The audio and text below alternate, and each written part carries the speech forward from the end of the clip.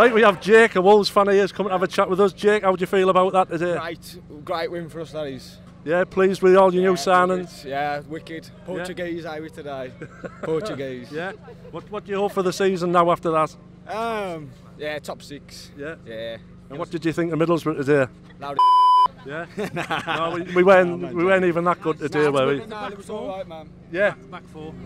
our back four, yeah? Yeah, yeah, yeah. They, they looked Too like... many slip-ups. Yeah, they looked like they'd never up. played together, didn't they? Uh, a bit slow.